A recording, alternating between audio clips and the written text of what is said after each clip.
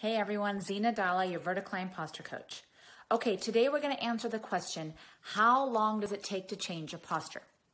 Well, if you're standing in front of me and I correct your posture instantaneously, then that change happens immediately, right?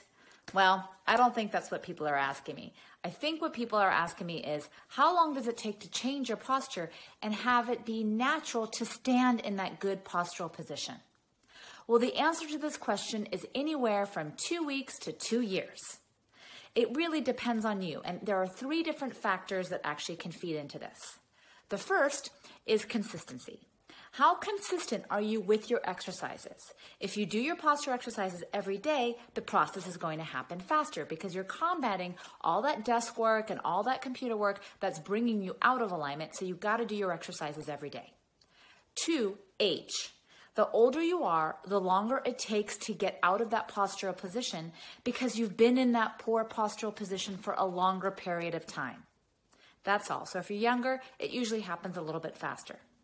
And three, mindset. If you know you can change your posture and if you're willing to have that positive attitude and again, do the exercises every day and believe that it can happen, it actually does happen faster. Trust me, I've seen it. Anyway, I hope that answers your question. Anywhere from two weeks to two years, and it's all about consistency. It is about uh, your age and your mindset. Hope this answers your question. Have a great day.